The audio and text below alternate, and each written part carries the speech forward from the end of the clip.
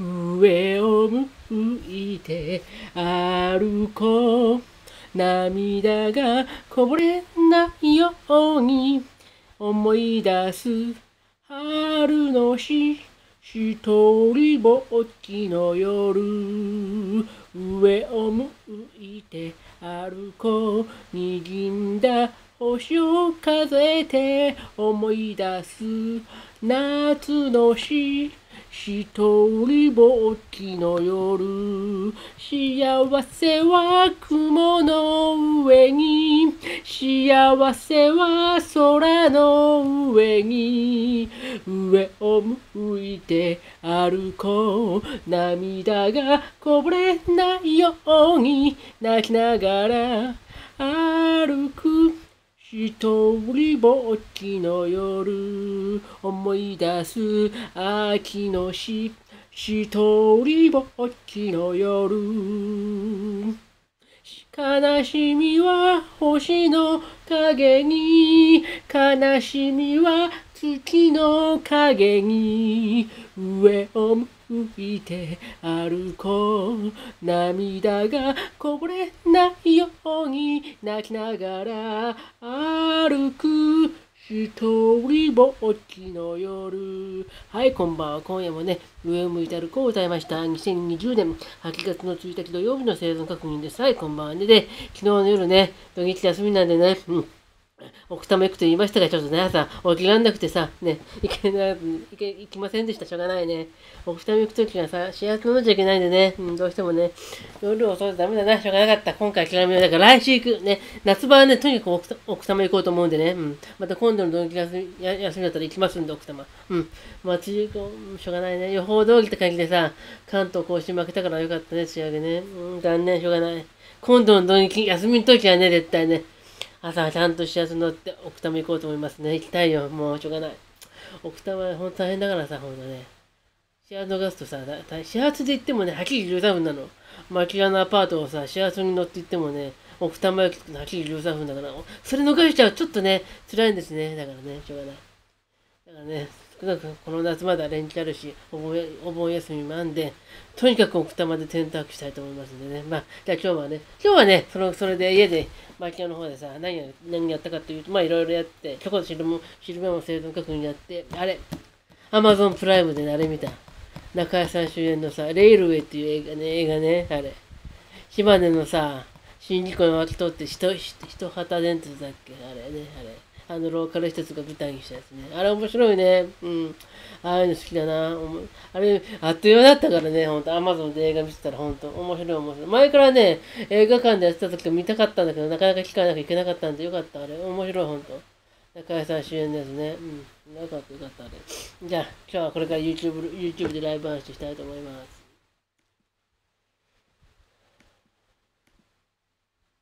まだね、もうすぐ。あっという間、のんびりしてきてね、思いちゃったね。アマゾンで映画見てるとね、あっという間ね、あれね。月々500円ほど払うだけで結構見れるなんだもんね、アマゾンプライムって。あれいいよね、ほんとな。うん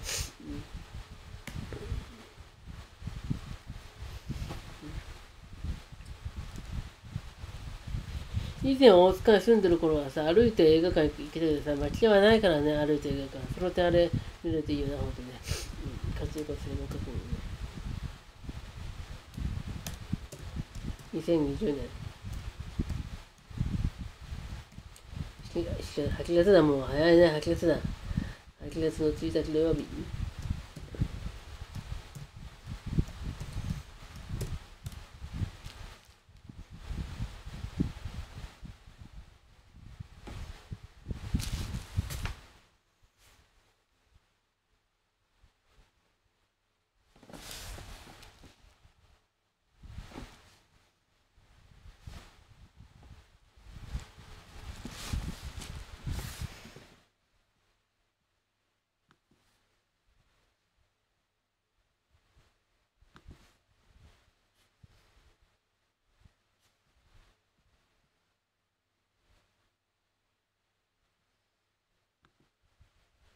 手紙を書いたら叱られる。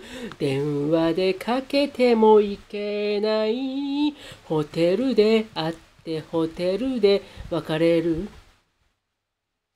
小さな恋の幸せごめんなさいね私見ちゃったのあなたの黒い電話帳私の家の電話番号が男名前で書いてある。奪えるものなら奪いたいあなた。そのために誰か泣かしてもいい。奪えるものなら奪いたいあなた。一度でいいからあなたの肌に爪を立てたい。あなたは私の宝物。私はあなたの何なの？ホテルで会ってホテルで別れる小さな恋のお相手。ごめんなさいね。私見ちゃったの。あなたの家の日曜日。あなたは庭の芝を飼っていた。奥で子供の声がした。奪えるものなら奪いたいあなた。そのために誰か泣かしてもいい。奪えるものなら奪いたいあなた。一度でいいからあなたと薪を歩いてみたい。奪えるものなら奪いたいあなた。そのためにそ誰か泣かしてもいい奪えるものなら奪いたいあなた。一度でいいからあなたの肌に爪を立てたい。はいこんばんは。今夜はねホテルを歌いました。2020年8月の1日土曜日の生存確認です。今夜もねいつものようさりげなく生存確認の一環としてこんな風に動画アップしてます。はいこんばんは。あ M さんこんばんはね。もやさんこんばんはね。今日はね、朝起きられなかったからさ、起きたも行かなかったね。しょうがないね。また今度は行こうね、休みの時ね。うん。まあ夏場は奥多摩は絶対行きますんでね、何度か。まあそれでまだ8月になったばっかだからね、まあ何か何度か行けると思うんで、うん。いい方に考えるなら、今日奥多摩行かなかった分、交通費浮いた。まあね、うん、そう。もう奥多摩行っちゃったら2000円ちょっとかかっちゃうからな。1000円やぐらいね。その分使うの済んだんで、そう、楽だね。今度休みの時行こうね、奥多摩ね。8月晴れそうだからね。うん。楽しみだ。うん。うん。じゃあ、じゃあ今日のお夜食行こうかな。今日はね、あれね、町の部屋の方でね、家にあれ、あれ、アマゾンでね、レイルウェイっていう映画見てた。あれ面白いね。あれ。中澤主演のやつね。うん。えー、都心の会社のさ、すごいエリートの人がさ、ね、地元の島での一旗伝説の電車運転手になるっていう話ね、あれね。うん。あれ面白かった。ああいうの好きね。うん、なかなかね、いろいろね、うん、面白かった。あれ好き。ああいうの、ああいう映画見てたあっという間だよね、時間経つのね。で、今日遅くなっちゃったね。アマゾンで映画見てたらさ、うん、じゃあ、ね、今日のお夜食行こうか。じゃあ行こうか。はい、どうもね。今日のお夜食。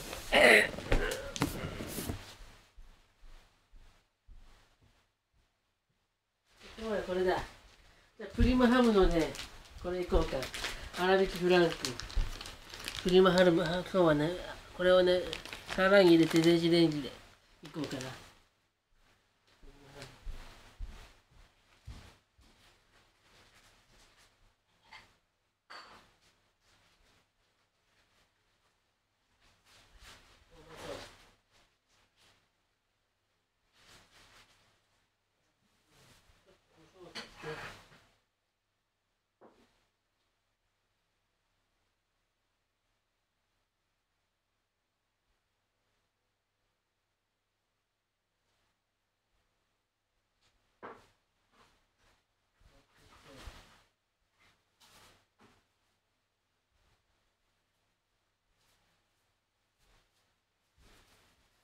プリマハムのウインナーネギ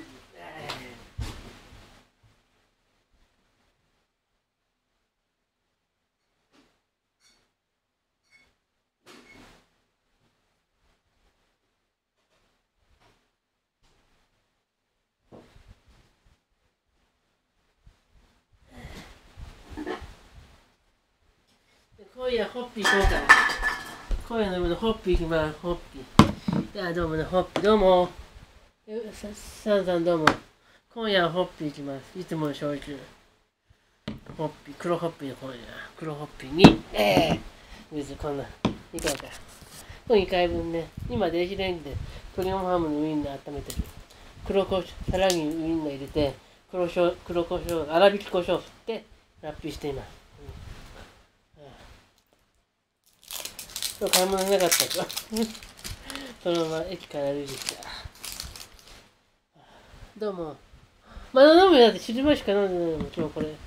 今夜これね、これね。半分ぐらい入れます。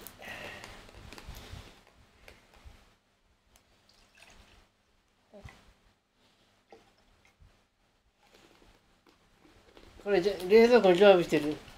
一番ワイズマージで一番買ってると思う、この焼酎。2、3本買ってもさ3、400円だからね、これね。まとめてで、半分。黒ホッピーで、どうも、こんにちは。ナオさん、どうもね。今日はね、ホテル歌いました。まあ、この後歌えるよね。うん、黒ホッピー割りで、翔くん。はい、乾杯。今日は寝坊しちゃっていけなかったけどね、しょうがないね。今度休みで、今度寝坊せずに行こうね。寝坊しちゃったんで、奥多摩行けなかった。まあ、さっき昼に言ったけどね。うん、はい、乾杯。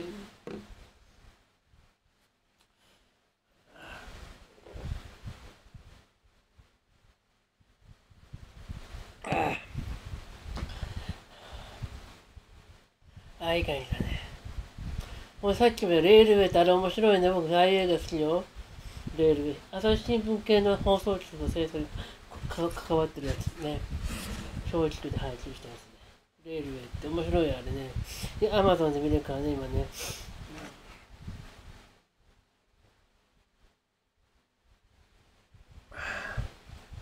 なんだろう、ナオさんどうもよく帰って、歌う歌、歌なら歌うよ。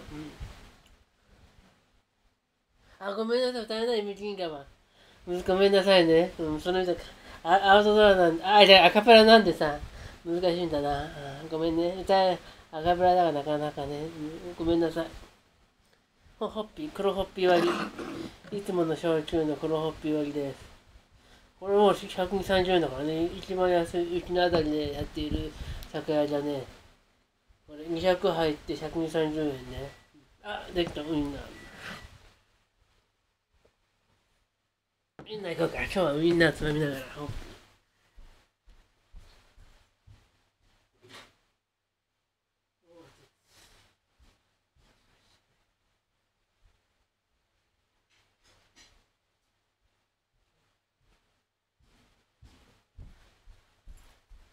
じゃあプラプリマハムのやつこれね。そのまま袋に開けて黒胡椒振って粗挽き胡椒振って電子レンジああうまそう。ね粗挽き胡椒だからね。こんな感じでね。これをつまみながら。ああうまそう。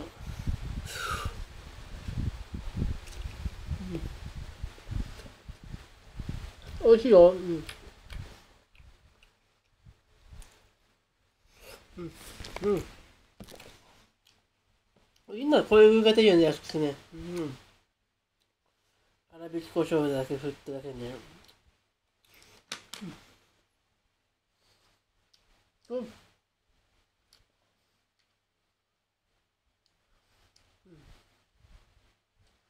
こんばんはね、あんまりだよさん、どうもね。これ安かったんだ、これ。これ一袋で、今は300円弱か。まあ、英語で300円ぐらいか。ジロさんどうもね、今日はね、プリマハムのフランク、さらに入れて、粗挽き胡椒を振って電子レンジね、ラップしてで、焼酎の黒ホッピー割りです。あ、こんばんは。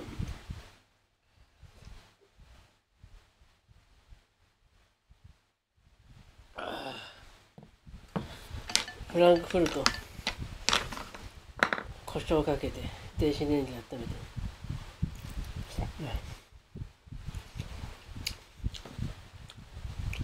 黒ホッピーね。焼酎の黒ホッピー割り。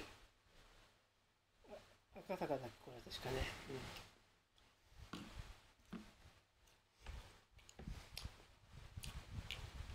うんなホホッピーってさ、赤坂にある会社だからさ、僕ずっとね、小学生の頃 TBS ばっかりしてたんでね、馴染みなんだよね。あれずっと僕ほんともう、かれこれ40年ぐらいずっとね、て以上前からだと思うんだ、あれ。TBS ラジオずっと宣伝してた。まあ、地元の放送局ってこともあってね。うん。よく宣伝してたね、あれ。ホッピーはね。だホッピー馴染みなんで、僕。ずっとね、TBS ラジオはね、幼い頃から知ってるんでね。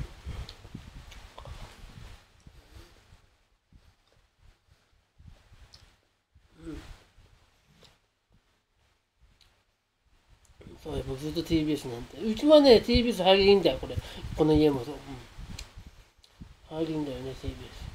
日本放送はさ、あれ、それだから中継局が送信だけ？だから、番組も入りんだよ、日本放送は。やつとかさ、千葉市とか湾岸の幕張とか湾岸も入りでも、ちょっと内陸はちょっと入りあるんだ、日本放送は。だから文化放送とか TBS はこの辺入り、内陸部ね、千葉県でもね、桜とか八代とかだったらね、文化 TBS が入るんです。日本放送はもっと漫画営業が入るんです、漫画。比べらんない僕はそんな。比べらんないどっちがいいか。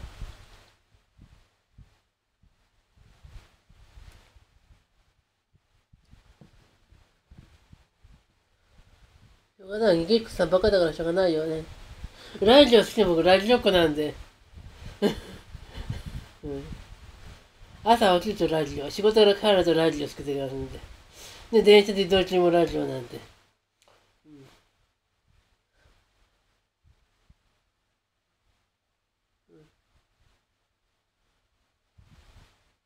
何も症状はない。どっかのバカみたいに何の症状もないから、僕は。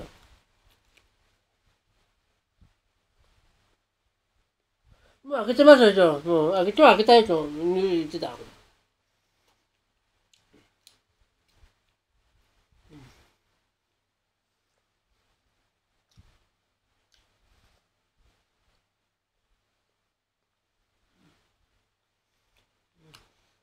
まいじゃなうん。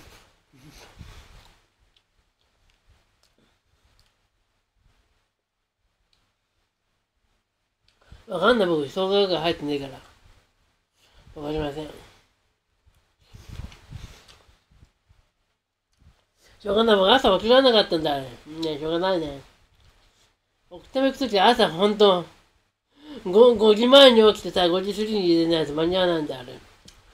だから仕事でやっぱ、昨日帰ったの、そんな10時に回っちゃったんだもん、昨日仕事帰ったら。その後、風呂入ったりさ、次の日の仕事を用意したりさ、それであっという間に2、3経っちゃうもんね、2時間ぐらいね。作業服洗濯洗濯機に放り込んでさ、次の日の仕事の作業服入れて、で、何かやって生存確認したりとかやってやってるとさ、すぐに時間経っちゃって0時回っちゃって、やっぱ無理ね、遅いよね。うんしょうがないじゃん。じゃあ、ホッピーよ。ホッピーは、でもしょうがないよ。バカ、普通の大体感染したところでさ、ニュースでも言ってるより感染かかってるのもさ、検査が多くなったからでしょ、あれ。今まで検査しなかっただけでしょ、あれ、本当に。そう思っていいと思うよ、あれ。PCR 検査をするようになったからさ、ちゃんと数が見えただけ。今までもさ、結構感染はしてると思うよ、みんな。ね。僕もしてたと思うよ、ほんと感染は。でもさ、そのうち治ってさ、そう、多分それは、だいぶみんなそうだと思うよ、あれ、みんな。ね、リンドローさんなんかもさ、もう感染はして治ってる可能性あるよ。みんなそう、みんな。にげ、にげしこさんなんかみんな。ただわかんないだけでさ、ね、うん。よほどさ、ね、お母さんみたいにさ、なんか病気してた人はさ、感染したらさ、発病して、な、危ないけどさ、普通の人はさ、感染してもさ、それほど怖くないもんね。前から言っても、このコロナの、新型コロナウイルスってさ、インフルと比べたら全然、死に至るのはさ、そんな怖くないってね。インフルエンザの方が、これ本当忘れないようにね、インフルエンザの方がね、ウイルスとしては怖いっていう、怖いのは変わんないからね、あれ。コロナ本当、新型っていうだけでさ、別にそれほどインフルと比べたらそれほど怖くないからね。だから、ほんと普通の人だったら大丈夫だけどね。岡谷久美子さんにさ、術後でさ、弱ってる状態だったらさ、多分ね、危ないけどもね、普通に仕事してる人だったら大丈夫ってこと、そう思ってね。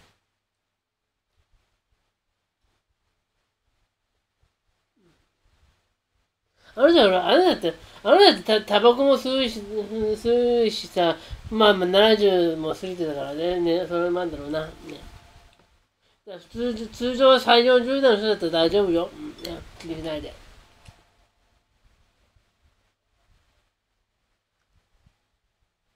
早く、ちょっと遅いからね。うん。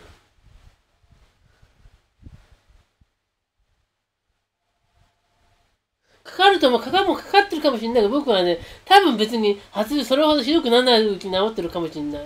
僕はそう思う。もう今ね、かかってるかなって自分に思うけどね、別に その流しちゃうんで、ね、気にならない発病せずに終わっちゃうと思います、僕は。うん、明日はね、普通に少し、うん。しょうがないよ、だってよ。だから志村さんはさ、結婚しなかったら女としたいからだと思うんだ、あれ。それいいと思うよ、あれ。ね。どっかの俳優さんみたいにさ、結婚して子供いるのにさ、ね。不倫すると比べればさ、ね。女遊びしたいから一人通すのって潔いと思うよ、あれ。どっか、誰とは言わないけどね、有名な俳優さんいるよね。結婚して子供もいるのにね。ね。女遊びする人ね、うん、いっぱいいる。それそれ比べ、志村さんはさすがだよね。うんあら尊敬すべきだよね、ほんとね。ね。誰とは言わないけどね、有名なとこいっぱいいるよね。タレントさんでさ、ね、結婚して子供がいるのにさ、女遊びしてんのね。その人と比べたらさ、志村けんさんは立派だと思うぞ。うん。ねそう、やりたいこといっぱいあるからさ、やりたい女の子いっぱいいるからさ、結婚はしない。それは本当立派、すごいと思う、僕は。うん。誰とは言わない。まあ、わかると思うけど。誰とは言えないけどね。誰とは言えないけどね。うん。うん、誰とは言えないね。いるよね、ほんとね。今日もヤフー、ヤフーのトピックあったよね。あれ、有名俳優さんがね、離婚が決まったってね。あ、あんな人比べたら志村さんは立派だよ、ほんと。ね。女遊びしたから結婚はしない。立派す、ほんすごいと思う。ね、ほんとね。これが普通だよ、ほんと。結婚して子供までいるのにな、ほんとね。何かにやってんだ。そう、立派よ、僕は、本当ね。うん。あだ機会、機会があったら大丈夫、ありますよ。うん。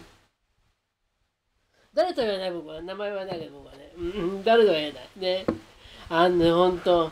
いっぱい、ね、誰とは言えないけど、いっぱいいるよ。言い出したらキリがないよね。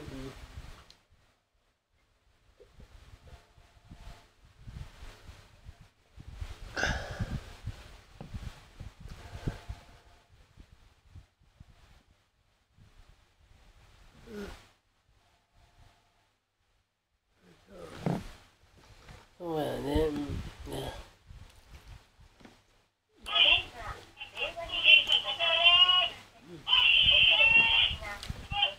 早いじゃ大丈夫。普通いつも通りの。うん。今日遅いからそれもあるかも。0時までったかもな。うん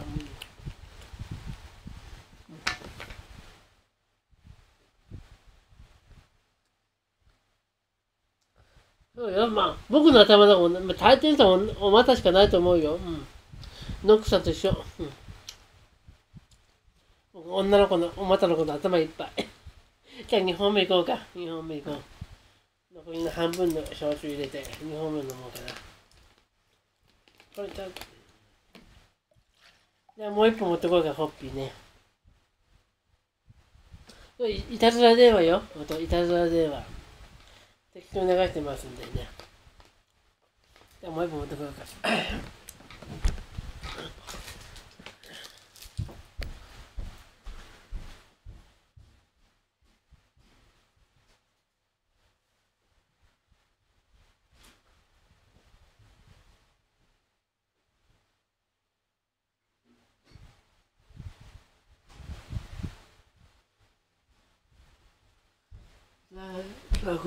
黒ホッピー割りです。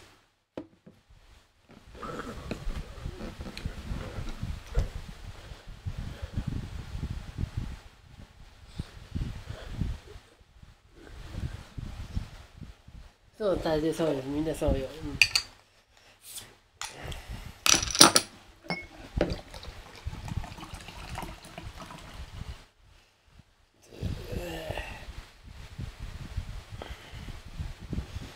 これどうしても乾杯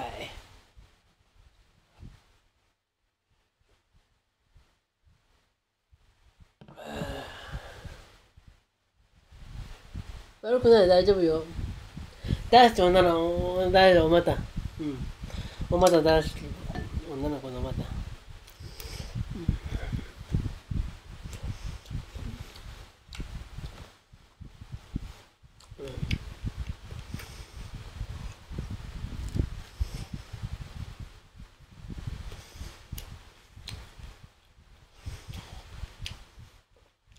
でもかわいそうあの子供子供たちがどうなるのかどうねあれねあの人あの俳優さんの子供ね子供ま作っておいて別れるのはね本当に難しいんだよな考えたらねあれね。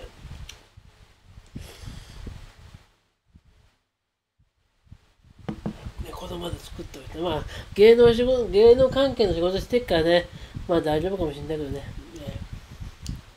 子供で子供で子供でも子供まで作っておいてさわかる。本当無責任よね。誰とは言えないけどね。あの、あの有名俳優さんね。ね。本当、ひどいな。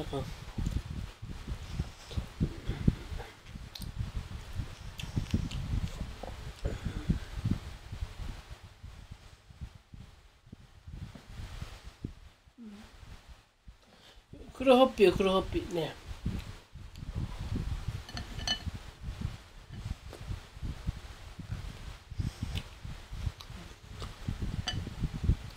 タバコは吸わないよ。うん、吸わない。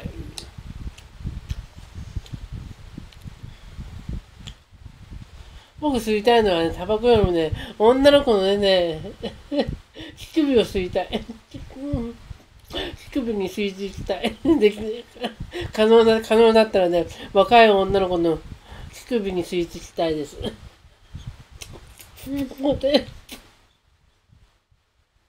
そう、タバコよりもそっちを吸いたい、僕。僕の吸いたいもの。若い女の子のね、お年頃の女の子のね、乳首に吸い付きたいです。たまんないね、ほんとね。うん。で、可能、いやいや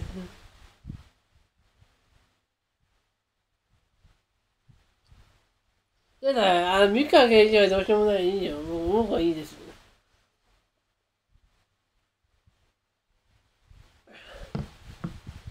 そうよ。うん。僕、ツイッター行かないから、僕、ツイッター一切行きません、僕。ツイッターに行ってる余裕はありませんから、行かないよ。うん。行かないよ、ツイッターは。全然行かないな。ツイッターの初期の頃は行ったことあるけど、全然行かない、僕。ツイッターでもね、ライブ配信できるのようになってからね、僕行かないですね。僕はね、おまた色の乳首がいいです。おまた色の乳首。うん。おまた色。だいたいね、女の子のね、乳首はおまたのやつ一緒だからね。おまた色の。ね。わかるよね。うん。ね。ないでしょ。経験少ないから。今振ってるんだ、僕は。今、野球弟だからな。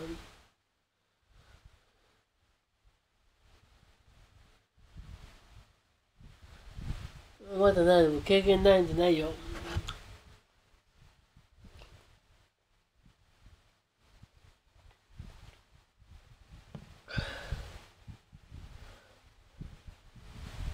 行かない僕はね。余裕がないから行かないね。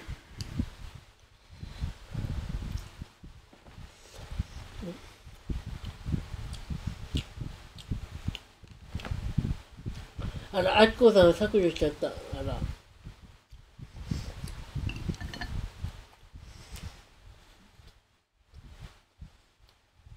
経験技術ないです。で経験、僕、経験技術はね、あれ、す ないです、本当に。いかない、経験ないで、ほとんど。そうブランドしか行ったことないんだ、僕。いいや、普通にソープランできれば十分よ。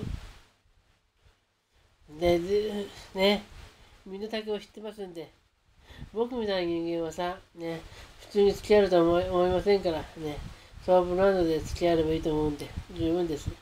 身の身の丈は知ってますんで、僕は。女の子と付き合うと思わないよ。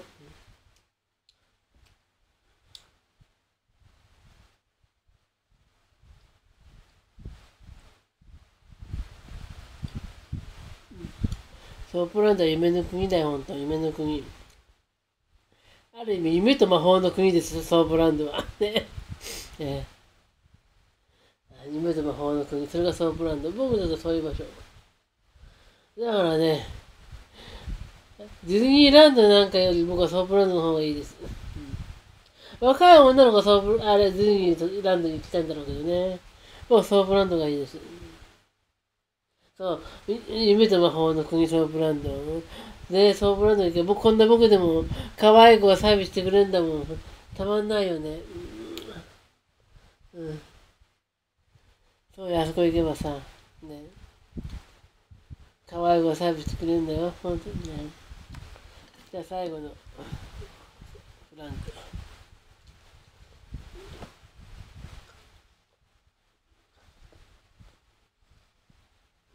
うん、もうよ。いいん。だよね。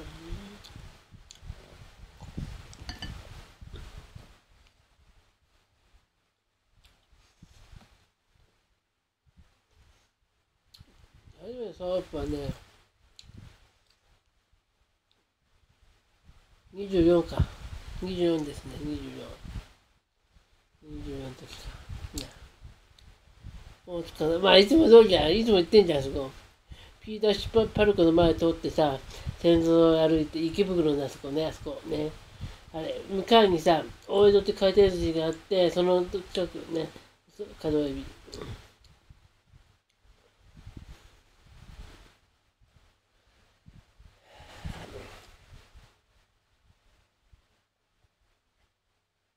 都心は角海老いっぱいあるからね、角海老は。池袋にもあるし、大塚にもあるもんな、角海老。角海老はソープランドのチェーン店ね。角海老はすごいね、あそこね。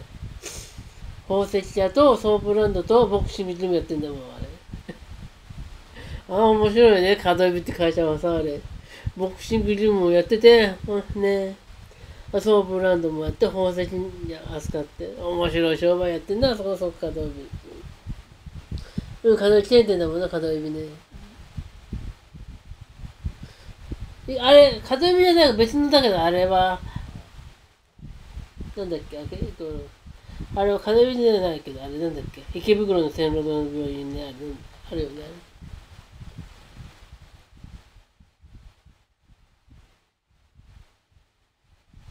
見学行かないで僕、文京区でお住んでたんでさ、1万に大塚駅前でブラブラするとよく見るやの見てたあれ見てました。あもう水木シングジムよし大塚のさ向こう側にはさあれよあれ角指側にはさ吉屋っていうスーパーあるんだよねあれも買い物行くとことあるんでか吉屋の買い物のついでとかによ横とか通通ってあそこ大塚角指のボクシングジム大塚の駅の近くには吉屋っていうスーパーんだよね。東武東上線の沿線の中に結構あるですね、吉屋。ね。あそこ大塚の駅前にもあるんで、そこのスーパーにも行くついでにね、あの、角エビボクシングジムの横とか撮ってたんでね。栄町は、うん。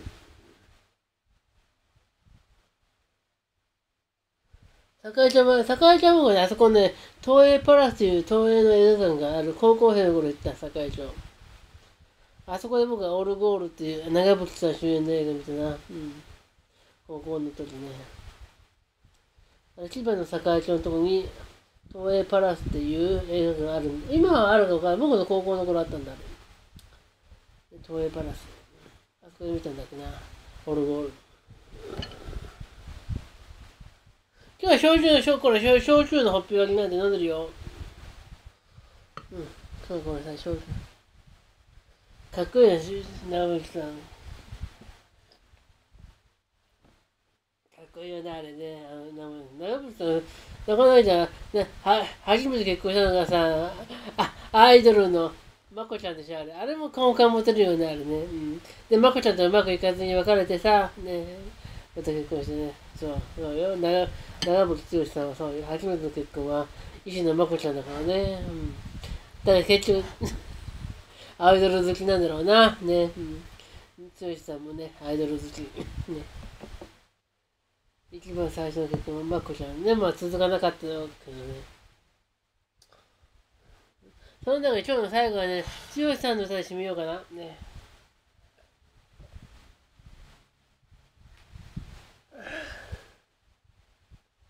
すぐ行っても数年は続いたけどね、あれ。でも面白いね、あれね。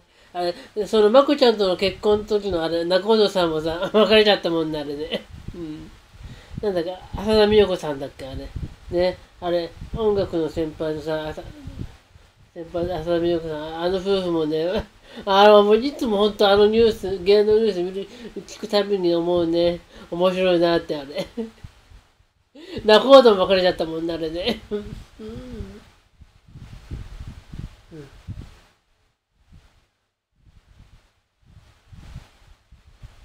どうも、ゆうさん、またね。うん。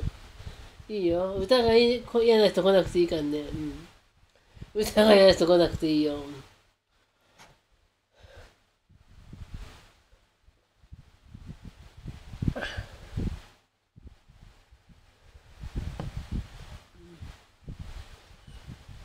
どうも、歌、歌があった。おやすみなさいね。うん。じゃ今日最後の歌いこうか。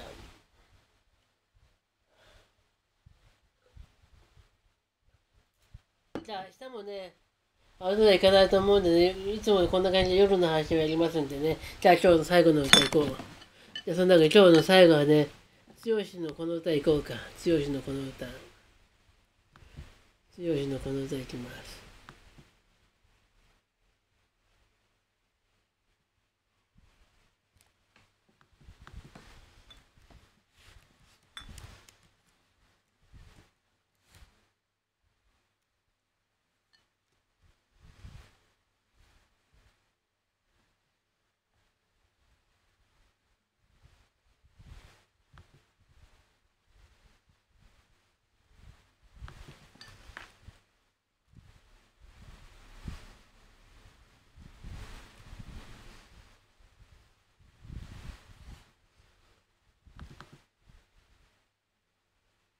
グッバイ青春グッバイ青春。グッバイ青春、いいことなんかなかった季節に夢だけ置き去りに白い手紙を破り捨てれば知らせがこぼれてジグソーパラドの上さ。グッバイ青春答えを探して当てのない風に吹かれて立ち止まる。夜明け間近に膝を抱えて残機のウォッカじゃなんだか酔えないみたい。誰のせいでもなくて背中がとても寒くて俺の抜け殻だけが急に真裏イライライライああこのまま悲しみを雨になれ。ああこのまま悲しみを雨になれグッバイ青春いったいくつもの涙を流せば君の胸に刺さる。窓の向こうに朝が届けば東のあたりはため息みたいに白い。グッバイ青春退屈なんて落ち込んだ時の言い訳だったんだね。熱い思いはただの幻。こぼれた私に打ち砕かれたシルエット。誰のせいでもなくて、背中がとっても寒くて、俺の抜け抜け殻だけが急に今、うらいらいらいらい。ああ、このまま悲しみを雨になれ。ああ、このまま悲しみを雨になれ。はい。最後はね、グッバイ最初を歌いました。どうも。そうよ、もおっぱい大好きよ。おっぱいも大好き、お股も大好き、おっぱい。お股も大好き、お股。ね。あきこ、しめあきこさんのお股も大好きだからね。ありがとうね。あきこさんおやすみなさい。いつか僕に、あきこさんのお股にぐ、に突っ込ませてください。おやすみね。いつかね、あきこさんお願いね。お股突っ込ま、突っ込ませてね。ね、ね。お願いね。お願いします。おまた。あきこさんお願いします。笑わないでください。おまたに突っ込ませてください。いつかね、お願いします。ね。ねおまたにお願いします。いらっしゃいお願いします。あきこさんが昨日の見てるよ、僕。ど、ど、え、ツイッターなんかでさ、爪の敷いてる？あの、あの綺麗な指で僕の ものをさ、仕込めてください。お願いします。だじゃあ今日はこの辺で。おやすみなさい。また明日。マジですよ、ほんと。あきこさんお願いします。いつか僕の ものをしごいてください。おやすみなさい。また明日、おやすみなさい。またね。あきこさんのあの可愛いお手手で僕の下半身がしごいてもらえたらたまんないです。ではまたね。うん